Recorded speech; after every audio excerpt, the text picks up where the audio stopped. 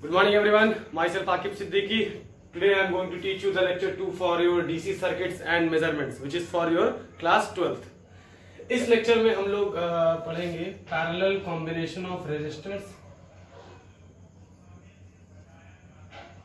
parallel और के V L और के सी एल का ग्रुप पढ़ेंगे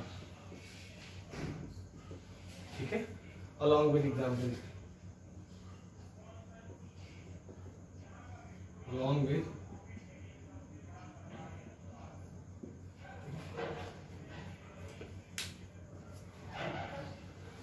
चलिए स्टार्ट करते हैं parallel combination of resistors series combination तो हमने बता दिया था।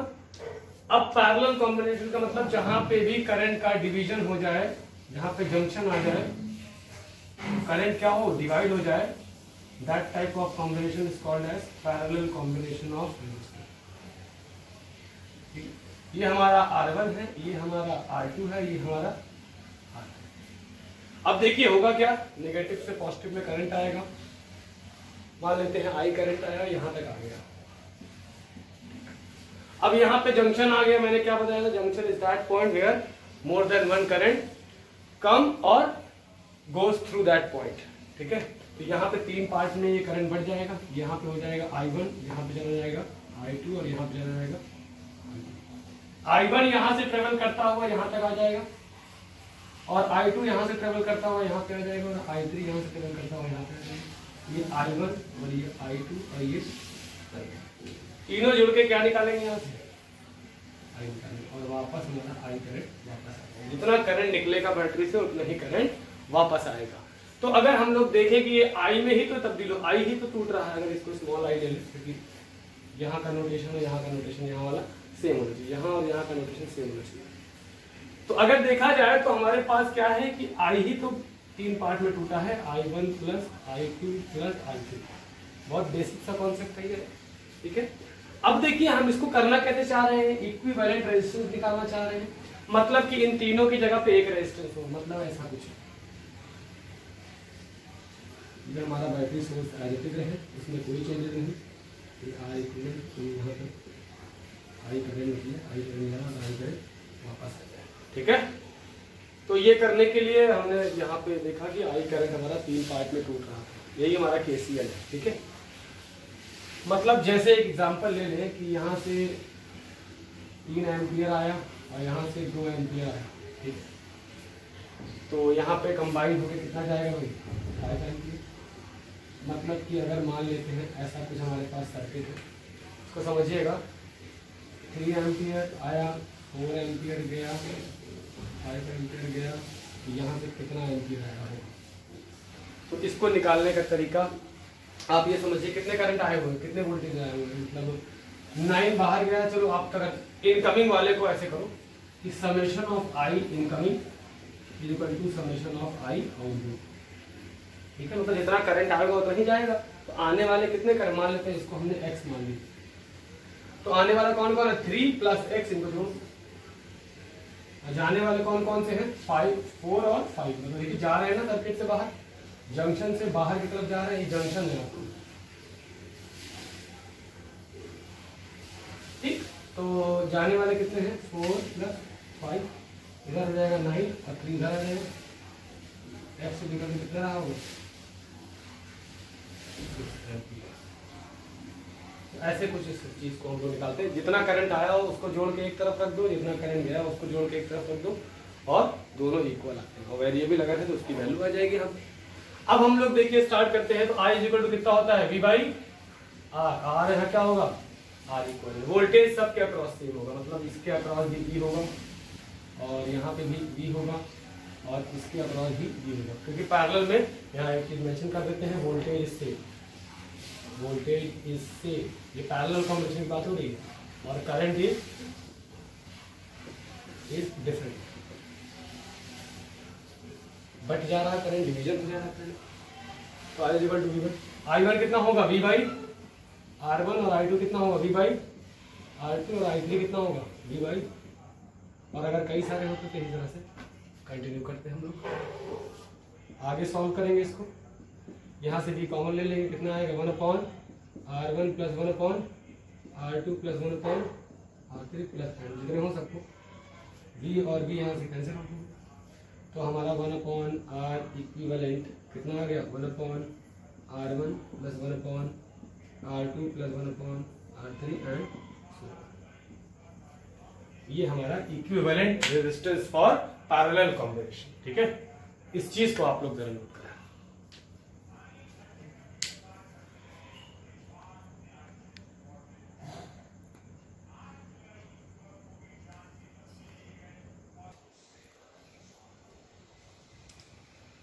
अब हम किरचॉफ करंट लॉ पे कुछ क्वेश्चंस करेंगे।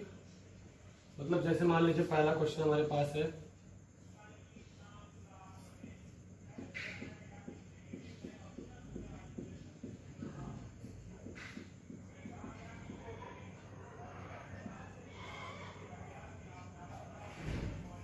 ये क्वेश्चन है हमारे पास। ये हमारा सेंटर पे क्या है?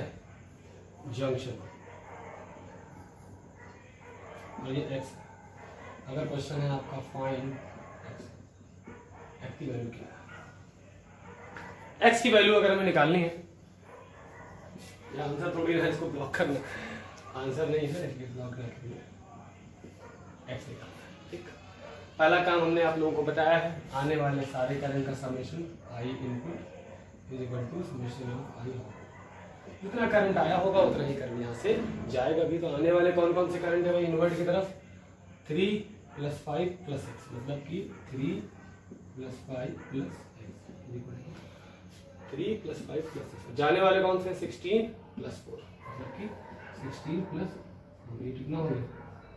ट्वेंटी और ये कितना हो गया? एट प्लस एक्स तो एक्स इक्वल कितना आ गया? ट्वेंटी माइनस एट एक्स की वैल्यू कितनी आ गई? तो यहाँ से एक चीज़ समझ में आ गई यहाँ पे कितना करंट अंदर जा रहा है? यही है आपका किरचॉफ करंट लॉ ठीक है? आई होप कि आप लोगों को ये चीज़ अच्छे से समझ में आ गई होगी। एक क्वेश्चन और कर लेते हैं। जैसे मान लीजिए कि ये है।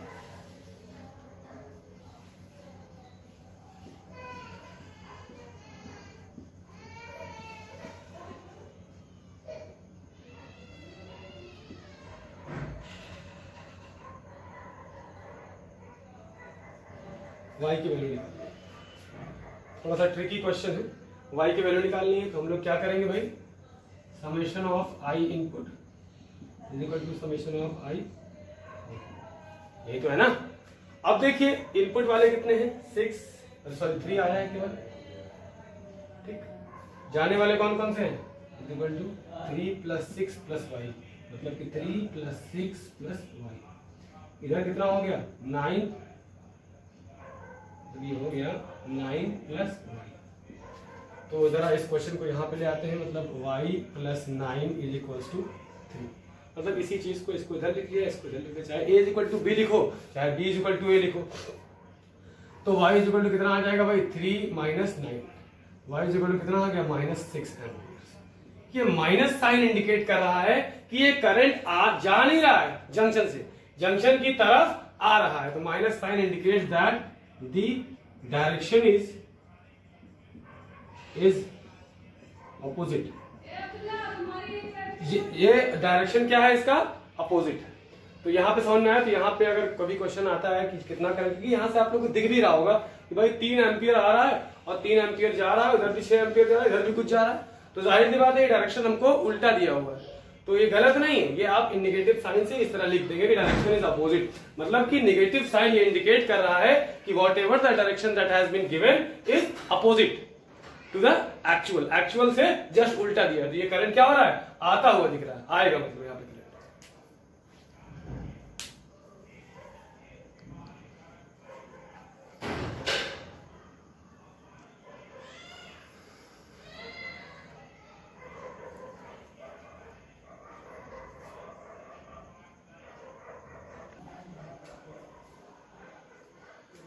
अब हमने सीरीज़ के लिए क्या पढ़ा था? आर इक्विवेलेंट कितना आया था? R one plus R two plus R three plus and so one और सीरीज़ के केस में क्या था? Current is same is same at all registers और वोल्टेज क्या था? Is different at all registers. और एक चीज़ ये भी समझ सकते हो, एक पॉइंट है। नो करंट डिवीज़न ये बताया था मैंने एग्जांपल फिर दूसरा आता है हमारा पैरेलल इसमें क्या था? One upon R equivalent is equals to one upon R one plus one upon R two plus one upon R three plus and so ठीक है? और इसमें हमने क्या पॉइंट्स नोट कराए थे कि voltage is same voltage is same across voltage is same across all resistors or current is different, current is different at current is different at all resistors और यहाँ पे current is divided obviously current is divided भाई current divide हुआ है, तभी तो दोनों में डिफरेंट डिफरेंट है, सारे रजिस्टर्स में। ठीक है? तो इस चीज़ को आप लोग नोट करना